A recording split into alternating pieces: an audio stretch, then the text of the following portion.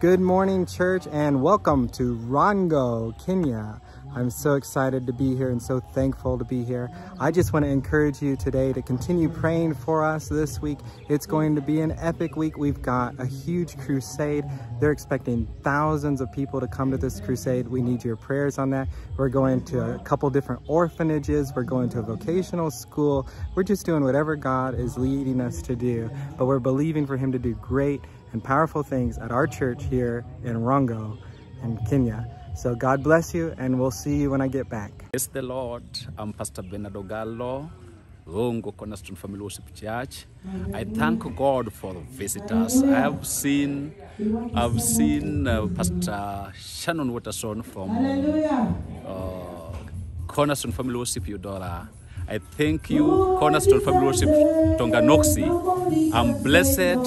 I'm blessed. May God bless you. Shalom. Shalom.